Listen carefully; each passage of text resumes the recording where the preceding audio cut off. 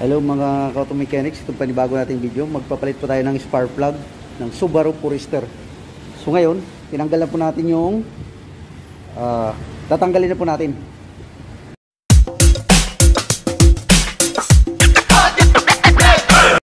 So ngayon, ito po, tatanggalin po natin yung ah, cover nito sa battery. Yan po, tinanggal po natin yung battery. So ngayon, yan po yung coil pack yan na kinalas na rin po natin. Yan. So ngayon, pag ano niyan, kakalasin na po natin yung spark plug. Nandyan po yung spark plug yan, dalawa. Dito po yung sa may left side. Yan po yung mga kinalas niyan na magpapalit ng spark plug. So ito naman, yung right side, wala. Medyo ito kasi, wala na tong tawag nito. Yung, ano, yung intake nito, yung air cleaner hose, medyo hindi na po ito stock. Naka-modified na po ito. Tingnan niyo. Oh. So wala nang intercooler dito sa ibabaw. So na dito na po. Front na po ito. Oh, intercooler niya. So ngayon, ito dudukutin lang natin pagkalas ng spark plug. Ito, nakalas ko na po ito. 12 pack. So ang ipapalit natin, ito po 'yon, yung spark plug din. Oh. Subaru po 'yan, spark plug. Yan. So, yan ang papalitan natin. Left and right po yung papalitan natin ng spark plug. Ito po yun. Subaru Forester. Yan. So ngayon, kakalasin muna natin yung spark plug.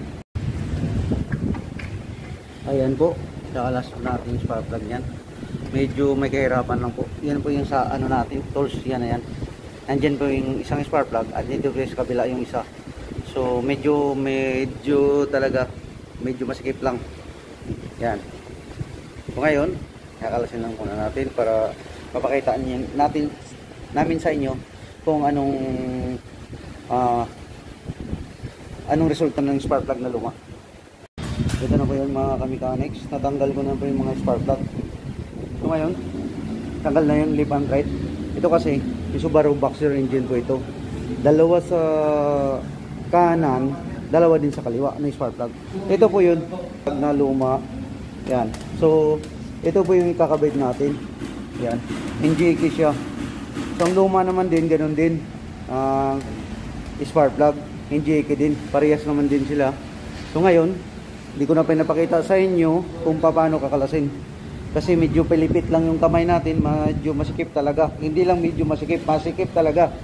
So, ito, papakita namin sa inyo na pinalitan ng spark plug.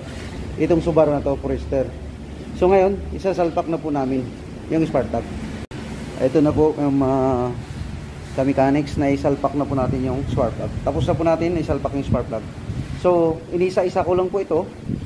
Mir so, ito lang yung ano namin. Ito lang yung aking video ngayon. Maraming maraming salamat sa sa, sa inyong panonood.